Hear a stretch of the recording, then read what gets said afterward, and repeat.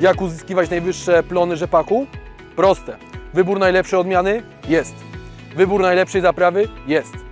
Najważniejsze, żeby odmiany były również zaprawione dodatkowo biostymulantem Starcover. Biostymulant Starcover jest to biostymulant, który wpływa na rozwój systemu korzeniowego, przekłada się również na rozwój całej rośliny, który jest szalenie istotny w początkowych okresie wzrostu rośliny.